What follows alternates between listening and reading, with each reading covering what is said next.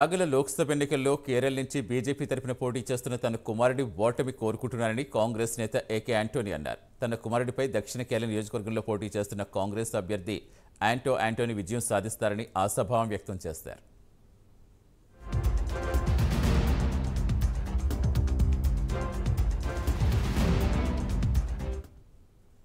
కాంగ్రెస్ నేతల వారసులు బీజేపీలో చేరటం తప్పిదమని కాంగ్రెస్ తన మతం అభిమతమని యాంటోనీ స్పష్టం చేశారు.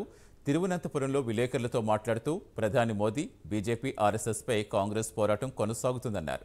కేరళ ప్రజలు సీఎం పినరయి విజయన్ వ్యాఖ్యలు సీరియస్గా తీసుకుంటారని తాను అనుకోవడం లేదని పేర్కొన్నారు.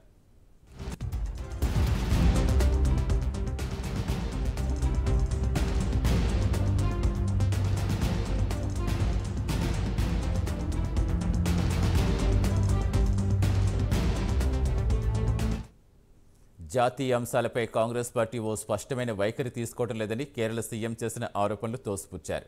విపక్ష ఇండియా కూటమి రోజురోజుకు బలపడుతుండగా బీజేపీ బలహీనపడుతుందని రాగల లోక్సభ ఎన్నికల అనంతరం కేంద్రంలో కాంగ్రెస్ సర్కారు కొలువు తీరే అవకాశం ఉందని చెప్పారు.